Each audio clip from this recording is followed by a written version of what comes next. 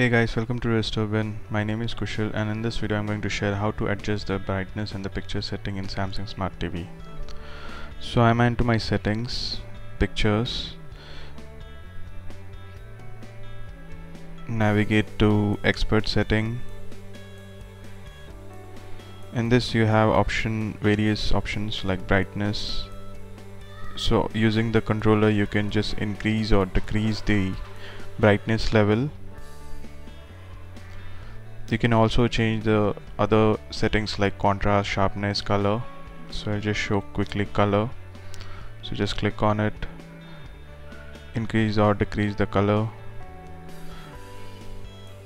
There are a lot of other settings for display. I haven't explored all this other settings which are there in expert setting of pictures. Need to check on that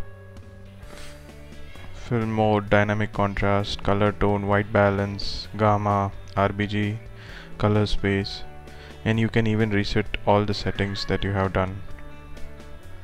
So this is how you can manage the picture settings in Samsung Smart TV. I hope you like this video. Please hit on the like button.